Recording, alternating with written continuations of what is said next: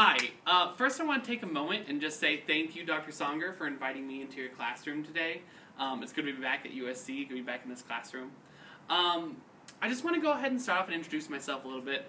My name is Kyle Warren, um, I've just finished uh, my tenure with Teach for America. I was a 2010 Corps member in Oklahoma, where I worked with 19 of the most brilliant fifth graders I've ever met in my entire life. Um, just to kind of get us going, how many of you actually know about Teach for America? Okay, I see a few hands. Um, well, I'm actually here today to talk to you a little bit about what Teach for America actually is and really kind of encourage you to just give us a chance and really look into what it is that we have to offer. So that said, like, I just want to jump in and just say our mission right up front.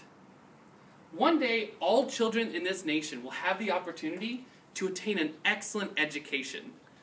I think this is something that we, sitting in this room, often take for granted because we don't often realize exactly how fortunate we are to receive the education that we've had.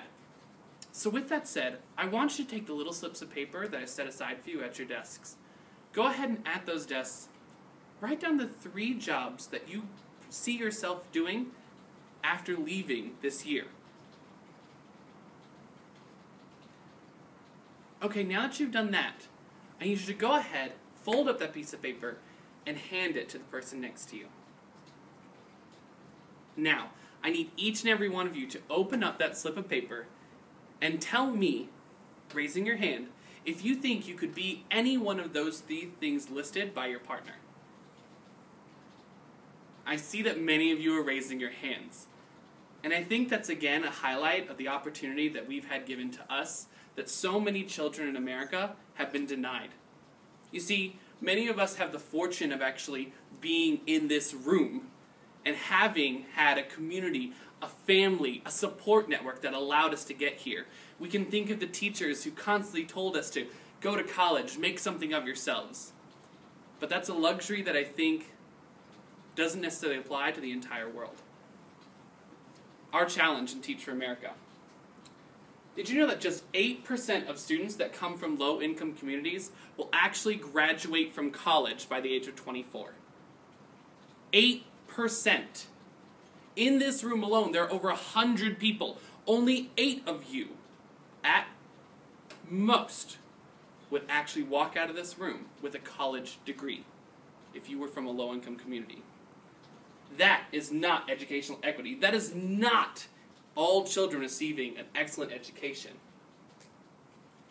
The very number of jails in many different communities of the United States is determined solely by the third grade reading level of low income male students.